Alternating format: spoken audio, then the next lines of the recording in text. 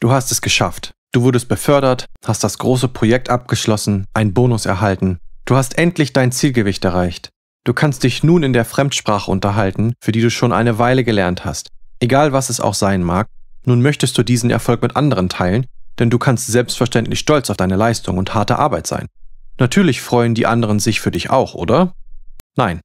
Sie mögen sich äußerlich vielleicht für dich freuen, aber innerlich brodelt ihr Neid. Menschen sind von Grund auf Neider.